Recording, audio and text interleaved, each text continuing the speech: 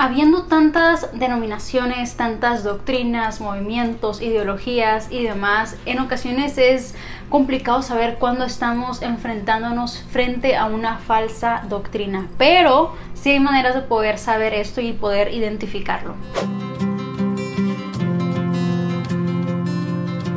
La palabra de Dios está llena de instrucciones cada cosa que tú te puedas imaginar que esté sucediendo, algo dice la Biblia respecto a ello, porque obviamente Dios es Dios y esta es su palabra, pero muchas veces tampoco sabemos qué es lo que dice la palabra de Dios. Entonces quiero compartir contigo dos pasajes, hablar un poquito respecto a esto, al igual que un punto principal que te va a ayudar y que honestamente constantemente me ayuda y me continúa ayudando a darme cuenta cuando estoy frente a falsas enseñanzas, porque la realidad es que en ocasiones estamos acostumbrados quizá que en tu iglesia siempre han dicho algo o tal vez tu familia piensa algo o simplemente has escuchado ciertas cosas tantas veces que crees que eso es la verdad y, y, entonces entran todas estas confusiones pero nuevamente ¿qué dice la palabra de Dios? En 1 Timoteo 6 3 al 5 dice si alguno enseña otra cosa y no se conforma a las sanas palabras de nuestro Señor Jesucristo y a la doctrina que es conforme a la piedad, está envanecido, nada sabe y delira acerca de cuestiones y contiendas de palabras, de las cuales nacen envidias, pleitos, blasfemias, malas sospechas, disputas hacia hombres corruptos de entendimiento y privados de la verdad, que toman la piedad como fuente de ganancia. Apártate de, de los tales. Ok, para empezar aquí ya nos está hablando pues de algunos puntos que tú y yo podemos tener en cuenta cuando se trata de estas falsas enseñanzas. Primeramente dice que si alguien enseña otra cosa y no se conforma a las sanas palabras de nuestro Señor Jesucristo y a la doctrina que es conforme a la piedad, o sea, si no se alinea esto, entonces y acá nos está dando todos estos resultados. Nos dice las sanas palabras de nuestro Señor Jesucristo. Aquí es donde entra la necesidad de que tú y yo nos metamos en la palabra de Dios. Yo les he contado que aún en mi iglesia o a la iglesia que vaya, si ellos dicen en 1 de Pedro 4.7 dice esto, yo no tomo por hecho, más especialmente si no he escuchado el versículo, no tomo por hecho que eso dice la Biblia, sino que yo abro mi Biblia y siempre corroboro que lo que están diciendo está realmente en la Biblia. No porque esté cuestionando al pastor o al, invitado o lo que sea, pero porque tú y yo siempre tenemos que no tomar la palabra de las personas, pero llevarlo todo conforme a las escrituras. La, honestamente yo he estado en ciertas prédicas donde están hablando algo y en mi mente es como, mmm, es eso no dice la Biblia o eso está totalmente sacado fuera de contexto y me pongo a buscar ciertos pasajes y en mi cabeza estoy teniendo un debate con el predicador sin que éste se dé cuenta, pero eso únicamente sucede porque conozco algunas cosas de la Biblia. No conozco todo claramente, pero conozco cosas de la Biblia, leo la palabra de Dios. Entonces hay cosas que digo, esto no me suena como que va a estar en la Biblia y busco. Han habido pasajes que de repente digo, ¿a poco eso está en la Biblia? Y lo encuentro y digo, ah, sí, sí está en la Biblia, porque nunca lo había escuchado. Entonces aquí te está diciendo que si alguien te enseña algo distinto a la sana doctrina del Señor Jesucristo, algo distinto a lo que tenemos en la Biblia, no escuches eso. Es, alguien que probablemente no está con su corazón en el lugar correcto, pero ¿cómo vas a saber esas cosas si tú no estás leyendo la Biblia? La realidad es que hay tantos falsos profetas, hay tantos movimientos equivocados, hay tantas doctrinas que, están totalmente fuera del alineamiento de la palabra de Dios, pero no nos damos cuenta porque apelan a nuestra carne, apelan a lo que nos llama la atención, a lo que nos gusta como seres humanos, que no nos damos cuenta que están yendo en contra de la palabra de Dios. A mí me llama mucho la atención lo que dice en, el versículo 5 al, final, es donde dice que toman la piedad como fuente de ganancia. Hay em, varias iglesias que, que, son de las más conocidas. Y bueno, acá en Estados Unidos hay muchas, Em, hasta hacen memes de ciertos pastores que traen zapatos de miles de dólares, que tienen ciertos carros, mansiones y toda la onda y dices, ¿qué rollo? ¿Qué está pasando con esto? Y, aunque pues no los conozco personalmente, la realidad es que sí hay muchas personas que han usado o han encontrado algún tipo de gancho acorde a la necesidad de las personas y han creado ciertos movimientos como por ejemplo el de la prosperidad, eso es lo que tú lo declaras, lo clamas y lo vas a recibir y todo se trata de siento en mi corazón que alguien va a dar mil dólares y Dios te va a dar. Y eso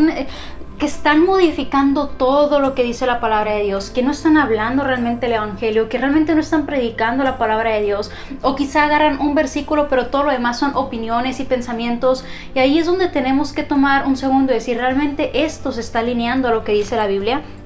No les voy a mentir que yo he tenido esos momentos donde, y yo se los hablé a principios de este año, en enero les hice un video, porque honestamente Dios ha confrontado muchísimo mi corazón en, en ciertos temas que tal vez los pasaba por alto. Me di cuenta que sí se habían infiltrado ciertas ideologías a, mi doctrina porque estaba acostumbrada a ellas, porque es la manera en la que había crecido, era lo que realmente me rodeaba. La mayoría de la gente, inclusive que están en redes sociales, están muy apegados a eso, que yo lo veía tan normal, hasta que llegó un momento que fui confrontada con la misma escritura, con la misma palabra de Dios, que ahora, y es lo que de aquí saco tantos videos y mis debates en Instagram, donde ahora leo algo y digo, ¿realmente dice eso en la Biblia? Y te das cuenta que realmente no está en la Biblia, pero porque, como les digo, suena bonito, apela a nuestra carne, es lo que nos gusta, lo aceptamos en lugar de realmente llevarlo a la luz de lo que es la palabra de Dios. Quiero leerte otro pasaje que está en Primera de Juan, em, capítulo 2, versículos del 15 al 16. Dicen, no amen al mundo ni las cosas que están en el mundo. Si alguno ama al mundo, el amor del Padre no está en él. Porque todo lo que hay en el mundo, los deseos de la carne, los deseos de los ojos y la vanagloria del mundo, eh, no provienen del Padre, sino del el mundo. Cuando hay alguna ideología, algún movimiento, algún algo cristiano o que se llama cristiano, que es muy popular y aceptado por todo el mundo, a veces hay que verlo eso como una, una pequeña alerta. Y a lo que me refiero a esto es porque en la palabra de Dios, no solamente en este pasaje, pero a lo largo de las escrituras, vemos que hay una distinción notable, palpable entre las cosas del mundo y entre las cosas de Dios. Y dicen que estas cosas no se mezclan, que no son compatibles la una con la otra, te dice que si eres uno, entonces no eres la otra. Entonces, ¿cómo podemos pensar que si estamos hablando de un mensaje que creemos que es según las escrituras y es amado, aplaudido y no causa ningún tipo de incomodidad, algo anda un poquito mal con respecto a esto. Dice que si amamos las cosas del mundo, entonces el amor del Padre no está en él. Es imposible amar al mundo y desear las cosas del mundo y desear alinearnos a las ideologías del mundo el otro día va a ser esto video para otro día eh, que entonces no voy a hablar el tema tal cual pero eh, es que me etiquetaron en un comentario porque mencionaron algo y bueno, el punto es que metí a ver en qué me habían etiquetado en Instagram y era una cuenta cristiana, y digo cristiana porque dice puras cosas antibíblicas, cristiana, que por la gente pensar por decir las palabras hoy vas a tener un excelente día, escribe amén si lo crees. Eso no hace algo cristiano. Eh, aparte que las cosas o las páginas no pueden ser cristianas, cristianos somos nosotros. Pero había un tema, bueno, les voy a decir, con respecto a la homosexualidad y mezcla el Dios, el amor y la homosexualidad y aprobando este mensaje. Y digo, eso es totalmente antibíblico. Entonces empiezan a haber mensajes que se empiezan a mezclar tanto con el feminismo, con la libertad, con los derechos, con el amor, con lo que tú quieras y mezclan un poquito de cosas de la Biblia y crean esta nueva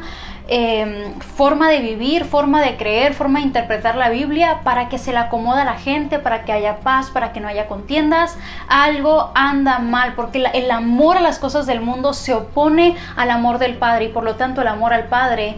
es contrario a lo que es el amor del mundo y por eso hay conflicto, por eso hay personas que pueden escuchar una prédica y salir y sentirse ofendidos, no porque los estén ofendiendo, pero se sienten ofendidos, ¿por qué? Porque les están diciendo no a su pecado, no, aquí ¿qué, te está diciendo? Ah, no en así en ese dice, porque todo lo que hay en el mundo, los deseos de la carne, los deseos de los ojos y la vanagloria de la vida, no proviene del Padre entonces cuando hay un mensaje que te está diciendo, niégate a ti mismo, obedece, arrepiéntete, sigue a Cristo, dicen, ah, ah, ah, esto no me está gustando. Y prefieren escoger un mensaje que no sé si esto se entiende en todos los países, pero apapache, que, que abrace, que ay, todo está bien, Dios te ama tal y como eres, no tienes que cambiar, tú sigue haciendo lo que te hace feliz, lo que te hace sentir a ti bien. Lo más importante es que tú trates de ser una buena persona. No, eso no dice la palabra de Dios. Entonces tenemos que estar con ojos abiertos buscando todo a la luz de la palabra. Recordemos que si se están alineando mucho las ideologías del mundo, si está siendo muy aceptado, muy aplaudido por el mundo, deberíamos de poner más atención a qué están diciendo realmente, qué realmente está diciendo la palabra de Dios y que nos dejemos guiar por la palabra de Dios. Por eso tantos años que llevo aquí en internet les sigo haciendo el mismo énfasis de que leamos las escrituras porque únicamente conociendo qué dice la palabra de Dios vamos a poder contrarrestar lo que está diciendo el mundo. Vamos a poder decir esto no creo que es lo que dice la palabra de Dios o vas a estar seguro de decir eso no dice porque esta otra cosa sí dice la palabra de Dios vas a poder también estar firme en tus convicciones porque vas a tener fundamentos de la palabra de Dios, no ideas, no opiniones, no es que yo escuché que una vez alguien dijo o es que en mi iglesia siempre dicen esto, no, ¿qué dice la palabra de Dios? Tú y yo no nos dejamos guiar por personas, por movimientos, por nada que no sea la palabra de Dios. Entonces comencemos a estudiar más la palabra de Dios porque únicamente conociendo que sí es la palabra de Dios, sabremos cuál es no, cuál no es la palabra de Dios.